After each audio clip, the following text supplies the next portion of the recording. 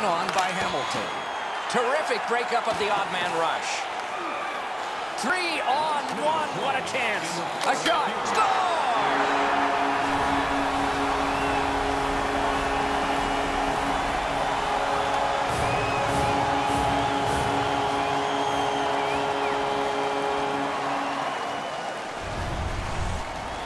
He had that wrist shot ready to go in the perfect scoring area.